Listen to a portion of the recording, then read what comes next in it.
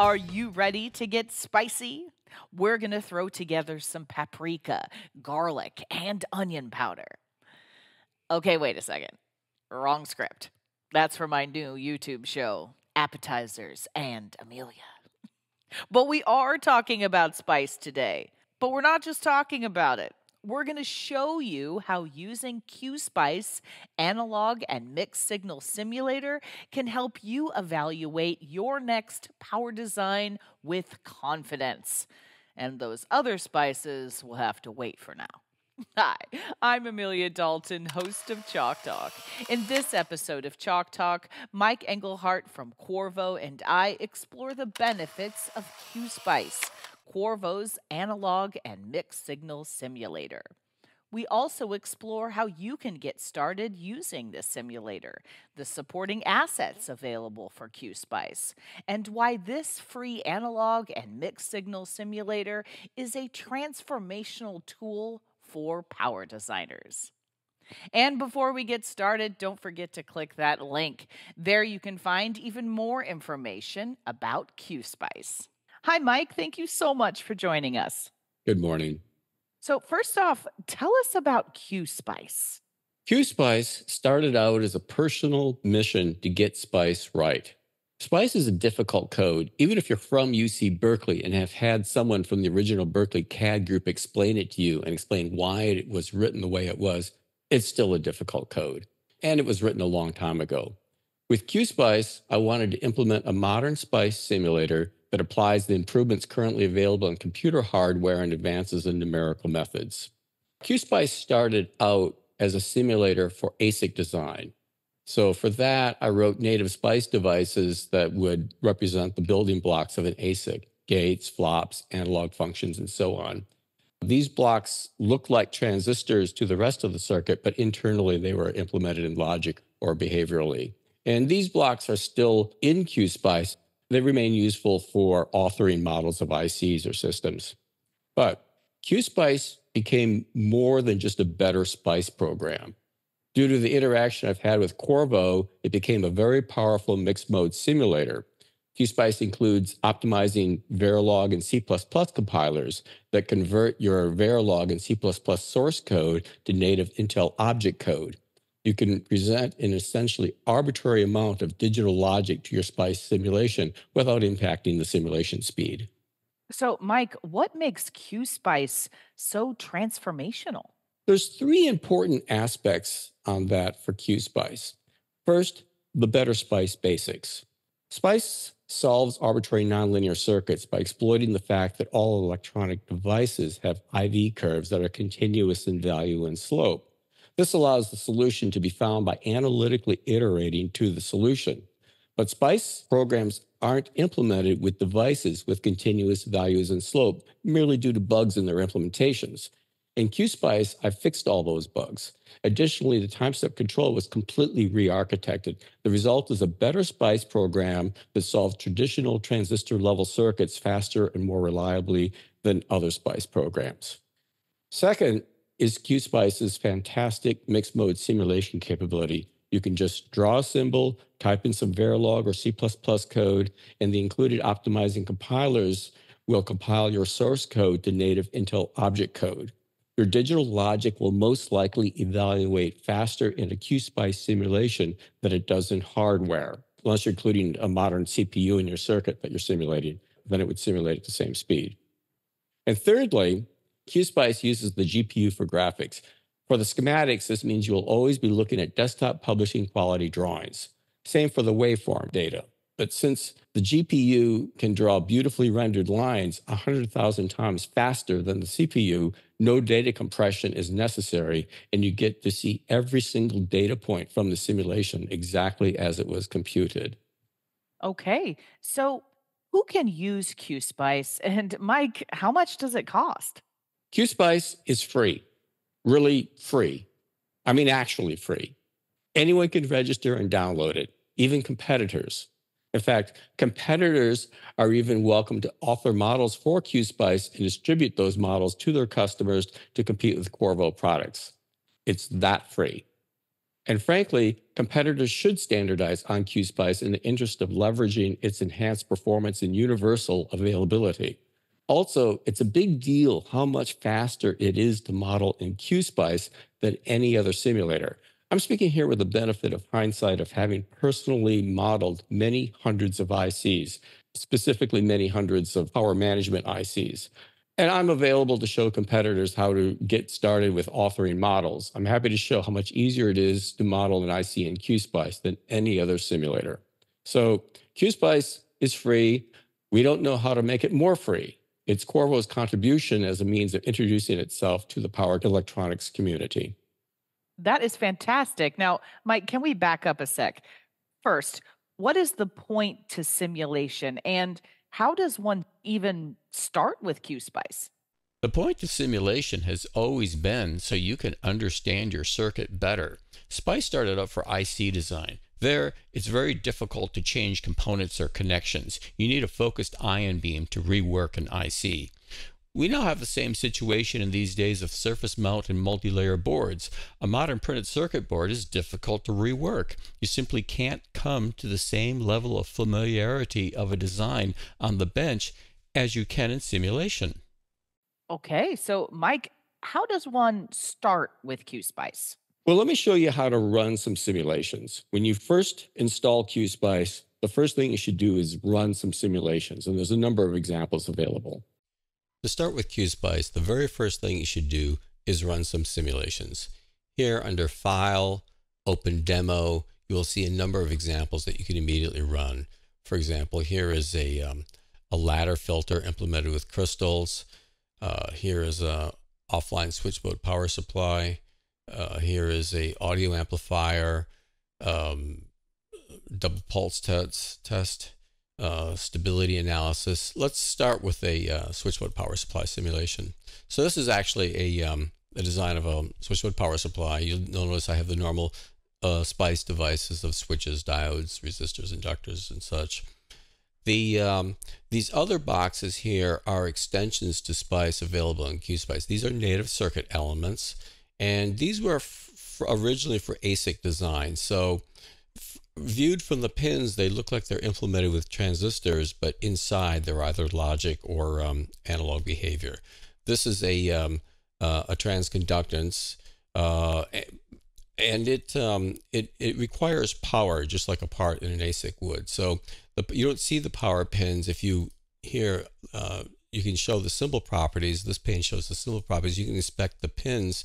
And if there's a checkbox here, then the pin is not visible, but the, the connection is made by name instead of by wire. Similarly, similarly for this part, you'll see that um, VDD and VSS are connected by name. So I don't have to litter my schematic with power connections. Okay, let's go through this design here. So this is the error amplifier, a compensation network. This part is a pulse width modulator, and the triangular wave is derived from current sense. So this is going to be a current mode controller. Uh, the inputs are a clock, a slope compensation function, error, you know, comp compensation node voltage. The um, the default logic of this block is that it is resonantly switched, means that meaning that when you turn off the top switch, it monitors the voltage on the switch node, and when that voltage rings down to zero, it will turn on the bottom switch. This is the oscillator, and it is um, uh, the frequency is proportional to the current through this resistor. The voltage on that resistor will be the minimum of three things, either an internal reference or v, the voltage on VRES1 or VRES2. VRES1 is connected to the output. So if the output is connected to ground, like if it were shorted, the frequency slows down so that for a given duty cycle, you give more time to uh, at a given minimum duty cycle, you have more time for the inductor current to ramp down to zero before turning the top switch up back on again. So it, it allows it to run into a short circuit at current limit. Um, the This part here is a phase detector and it's driving the voltage on VRES2. So that allows me to phase lock this switcher to an external clock source. The phase detector is a normal phase frequency detector. That is, it sources or sinks a fixed current depending on whether the uh, oscillator edge came first or the reference clock came in first. This phase frequency detector also handles pulse pileup, meaning that if there's two pulses that come on the ref pin before there's an oscillator uh, edge, then it doesn't um, source the normal fixed current, but twice the normal fixed current. That allows it to slew rate, uh, slew into regulation faster, and it um, it extends the linear region of your feedback loop, so you can actually watch the uh, stability of their of your phase lock loop a little bit easier. All right, let's run the simulation. Right click, the green button turns it on, and that is the uh, doing a startup transient analysis. Here's the output voltage. You went through something of a soft start, and then it uh, came into regulation. This is the voltage on the output of the phase frequency detector, and you can see it acquire phase lock. So in this simulation, I've done a startup transient analysis, I've simulated five milliseconds, and I've acquired phase lock, and the entire simulation occurred in slightly over a third of a second. QSpice is fast. There's really no other way of describing it. Now, there, we do have videos that describe how to operate the GUI um, in more detail, but in a nutshell, this is going to be a more modern GUI than, than you've otherwise seen in CAD tools. There's relatively few dialogues. So, for example, if I want to edit this transient command, it's edited right on the screen, and there's a syntax hint showing underneath where I'm typing. So instead of going to a dialogue and having a dialogue force you to type correct syntax, it just tells you what the syntax is. The advantage there is that you um, uh, your eyes don't have to jump around the screen as you edit things. Everything is edited in place. Um, I find it um, a, uh, um, a, very significant improvement over uh, other tools. Um, and then these two, these other panes here, you have the symbol browser. You can find symbols here and, and drag them onto the schematic. Uh, you have a preview pane for symbols. This pane over here is a symbol properties. You click on something, you can see all the attributes to that symbol. And then here at the bottom, you have a little console output that will print the, um, uh, uh, that as the simulation runs, you'll see what kind of messages the simulator had to give you. That's great. So, Mike, can you show us something that really shows what QSpice can do? Yes, there's an example in the distribution that really is worth studying. It shows the capability of QSpice. It also shows you how to make your own macro models for it, author models for ICs. Yeah, let me show you an example that really illustrates what QSpice can do. Under File, again, Open Demo, you'll see Practical Switch Mode Power Supplies. Let's look at this. This is an example that's really worth studying because it shows what QSpice can do and it shows you how to make a, a switch mode power supply macro model this is this model is implemented as a hierarchical design so we can look at the internals and probe all the voltages inside it and such. Let's enter the schematic let's enter the model. Right click enter schematic. And this schematic is what is represented by this symbol. Okay so you see you know some combination of logic you know gates normal spice stuff. And um, you know except these are all ASIC quality ASIC modeling quality gates and flops uh, but the magic is this part here. Uh, right click. This looks like hierarchical design, but let's actually, it's actually written in C. So right click C++ interface, open C++ source. And that's the source code to this model. Uh, QSpice includes um, a compiler that will compile this for you to the DLL. It's a type of constant on time, except that it's also constant frequency. And the um, uh, it's a deceptively simple algorithm that is um, uh, it's self-oscillating, doesn't require an error amplifier, and is I really don't know how to make a, a better algorithm than this. It's it's basically perfect. The switch is either on or off exactly when it should be. Plus, it's constant frequency. Plus, it's intrinsically stable. So um, uh, let's let's run the simulation. And there you can see it um, running three milliseconds of this five kilohertz switcher, and it does it in, in about a second. So it, again, it's exceedingly fast. Uh, and the entire model, the entire behavior of this is is um, uh, uh, included. You know, it has it has hiccup mode. Let's short the output. I'll I'll short the output here. Now the output is shorted, and I'll watch this thing do uh, hiccup mode. So there is the um, the thing hiccuping. It, it, it puts out a, a couple of pulses. It puts out a few pulses. It really gets, gets too much uh, peak current, and then it shuts down for um, uh, what is what is it doing? It's it's shutting down for 10 milliseconds. So it's hiccuping along. Everything is there. This is a, a more complete switch mode power supply macro model than you generally find in industry. And it's exceedingly fast and it's very easy to implement. I have implemented many hundreds of switch mode power supply macro models, and I've never been able to model something this thorough, this easily as with QSpice because of the modeling language available. So, Mike, what resources exist for QSpice? Well, there are a number of videos. These are cited in the help file and they're also on the landing page for QSpice. These videos show you how to operate the GUI. They show how to import third-party models. There's one that gives an introduction to typing C++ into a SPICE simulation. There's also an active QSpice users forum. Users there share questions, examples, and source code. And I'm available to help people figure it out. My email address, mike.engelhardt at qorvo.com, is on the help about dialog box in QSpice. Fantastic. So, can we get a little practical here? What if I need a model that isn't in QSpice? What if I actually want to build the circuit? Okay, so I have put some thought into making it as easy as possible to import a third party model in a very non error prone way. Let me show you how easy it is to, you know, build a practical circuit using imported models and then procure the parts for the circuit. So this file I just downloaded from Texas Instruments site. It's one of their LDOs. It was the first LDO that came up. And I simply drag and drop the file into QSpice. It recognizes that it's a model. And because this particular model is written to include other subcircuits, I have to check this box called include entire file uh, and then say yes, and it just makes a symbol. Now I can edit the symbol so it looks more reasonable, but I'm not going to bother with that. I'm just going to use the symbol as it is. Um, let's hook up a circuit. Let's make the other connections we need to ground. We need some input voltage. V gives me a voltage source. I'm going to make 3.3 volt output. I'll give it 4 volts in. I'm going to turn the, I'm going to enable the circuit during the simulation uh, control C, control V. This will be a piecewise linear that comes up to a volt uh, after a millisecond. So one millisecond it's zero and 1.01 milliseconds it's one volt.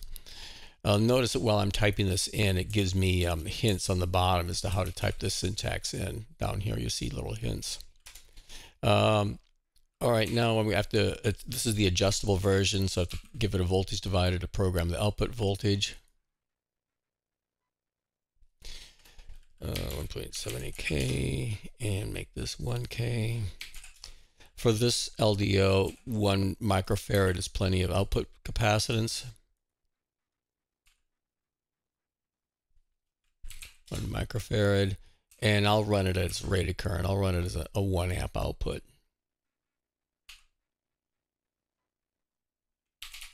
And that's our circuit. Now I need to say um, how much time I want to simulate again, you'll notice that as I type these commands in, it gives me syntax hint underneath where I'm typing. Um, the whole idea in QSpice is that all the editing is done in place, not in dialogue. So your eyes don't have to shift around when you're editing stuff, but it still gives you the same information you would get from a dialogue because it gives you as a hint underneath the area where you're typing. Okay, let's turn the circuit on. Run simulation. And here we have the output voltage. So we can see the thing there's the enable input, and then once I enable it, the thing comes up running. All right, so that's all good. Now say you actually want to um, buy this thing. That's okay. Point at the part, right click, buy now from Mouser. And that will take you to the product page for this device. And you can um, look at quantities, see how many are in stock, and go ahead and, and, and buy the parts. I've um, put some thought into making importing importing third party models as easy as possible, and uh, that's that's what I've come up with.